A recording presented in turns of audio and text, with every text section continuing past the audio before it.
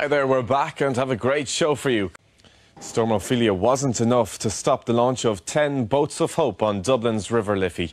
It was all part of the United Nations Global Goals Initiative to mark End Poverty Day. Something inside so strong.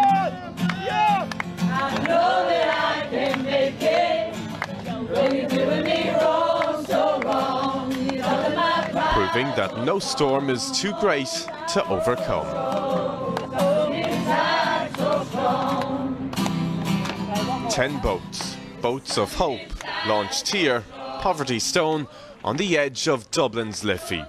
Because today is the United Nations End Poverty Day.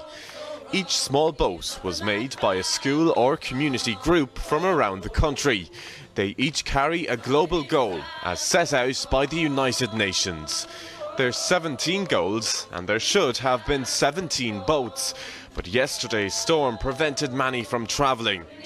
Nevertheless, the sun shone bright as the boats set sail, symbolising a hope that someday those in poverty would also experience a brighter day.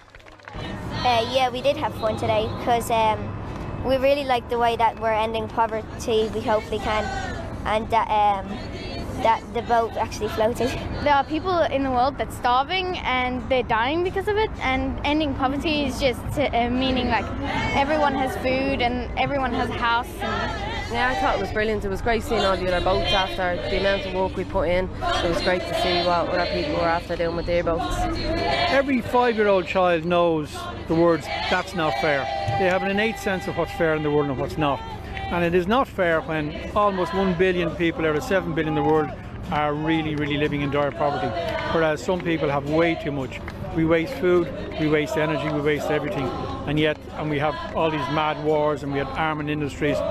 We can sort ourselves out if we take a different approach to things, and children understand that, even as young as four. Every group here today, including the schools that couldn't make it, all share a desire to bring poverty to an end. So as one storm dissipates, a new one is brewing.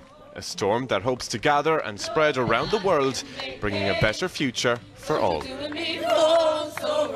And we'll be back at the same time tomorrow. Take care. Bye for now.